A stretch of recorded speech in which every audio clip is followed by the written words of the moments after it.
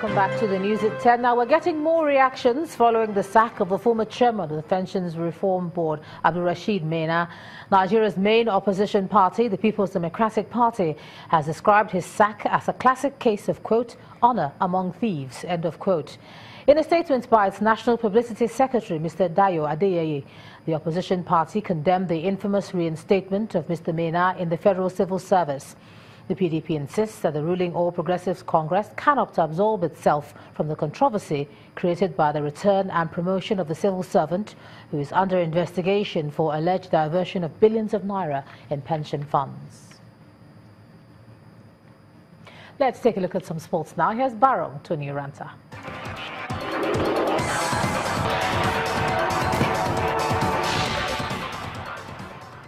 Thank you, Joma, and welcome to Sports News. Portugal's Cristiano Ronaldo has won the Best FIFA Men's Player of the Year award for a second consecutive time. Ronaldo edged out Argentina's Lionel Messi and Brazil's Neymar at the award ceremony that took place this evening in London. Ronaldo helped Real Madrid to a second consecutive Champions League title and finished as the tournament's top scorer with 12 goals earlier this year. Empezado. ¿Estamos listos? Vamos. And the winner is Cristiano Ronaldo.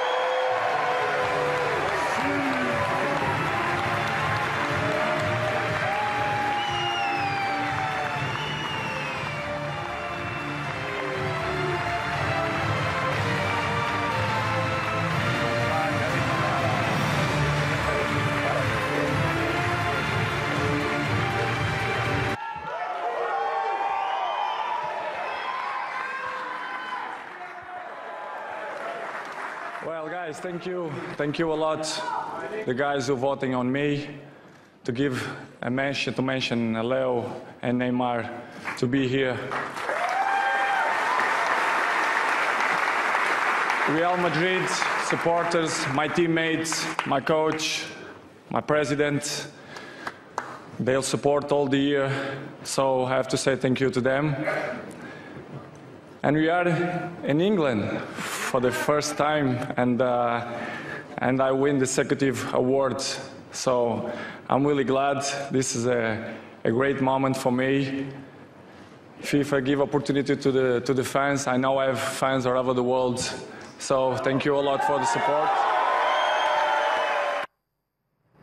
Meanwhile, Real Madrid boss Zinedine Zidane has been named the men's coach of the year at the Best FIFA Football Awards.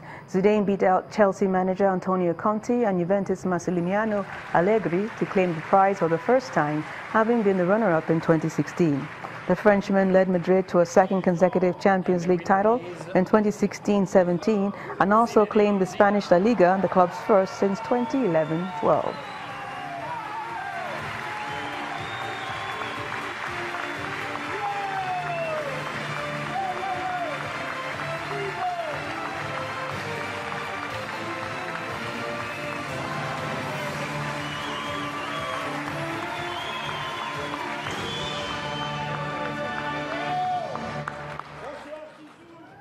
From a player to a coach. Well, that's it on Sports News for tonight. I'm Barong Tony Aranta. Annie John will be back with the wrap.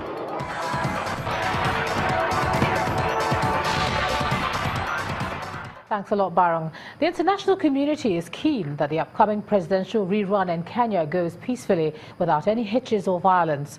Observers from 18 European countries, the European Union and the United States today issued a joint statement calling on leaders to talk to each other and pursue any protests peacefully. Speaking on their behalf, the U.S. ambassador to Kenya called on politicians from all sides to respect the country's constitution, warning them that the current situation was dangerous and should stop.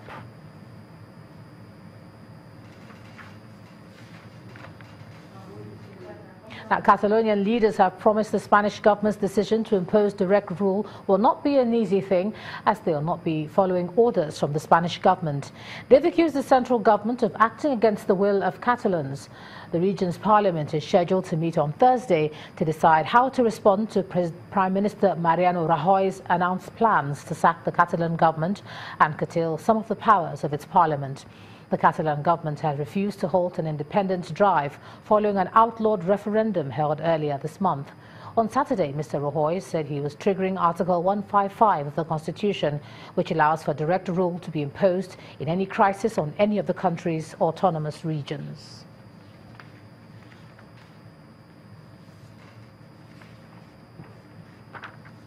And a pair of Palestinian conjoined twins will die if they do not leave Gaza to get proper medical attention.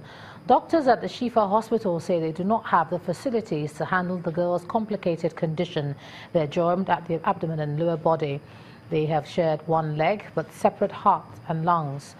Dr. Abu Hamda said while the condition of one of the twins was okay, her sibling was suffering and required ventilation. And the main news again. The president today wielded the big stick by ordering the immediate sack of the former chairman of the Pension Reforms Board, Abdul Rashid Maina, from the civil service. President Muhammadu Buhari also called for the investigation into Maina's recall, the report of which has been submitted to the Chief of Staff. Also today, 17 governors of the southwestern states met today in Lagos and agreed on devolution of powers as well as Nigeria's indivisibility. And Western diplomats today warned of growing insecurity in Kenya ahead of controversial presidential election rerun.